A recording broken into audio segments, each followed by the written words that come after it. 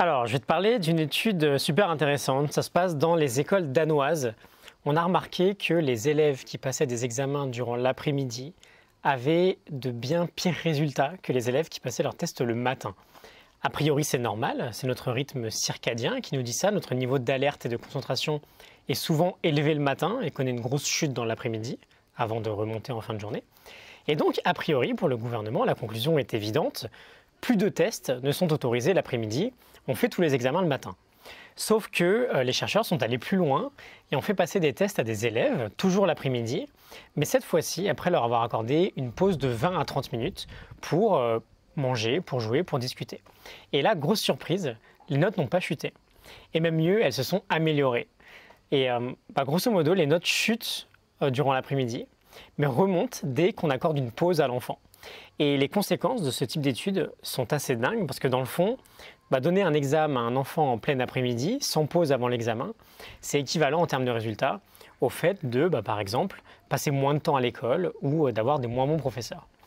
Et le point à retenir de tout ça, et c'est très rapide comme transition, j'en ai bien conscience. Hein. Euh, je ne vais juste pas te donner 15 000 exemples différents. C'est que nous avons tous besoin de prendre des pauses tout au long de notre journée.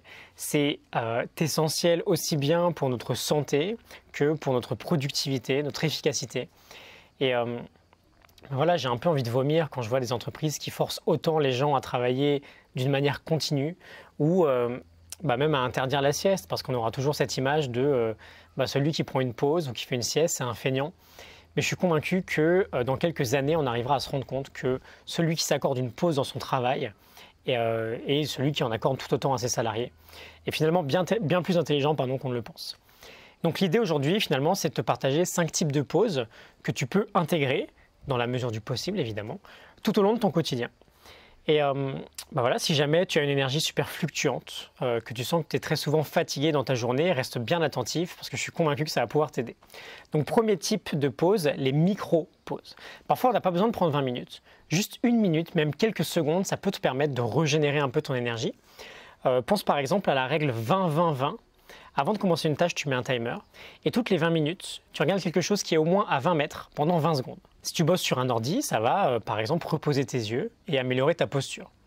Euh, tu peux aussi aller juste boire un, verre d'eau pardon, que tu vas chercher à quelques mètres ou euh, simplement te lever pendant une minute et bah, secouer un peu tes jambes et tes bras. deuxième type de pause, les pauses sportives. on s'assoit souvent trop et on bouge pas assez. On peut rassembler le mouvement et la pause pour cumuler un peu des bénéfices. Par exemple, en allant marcher 5 minutes. Tout le monde peut quasiment le faire, c'est assez simple.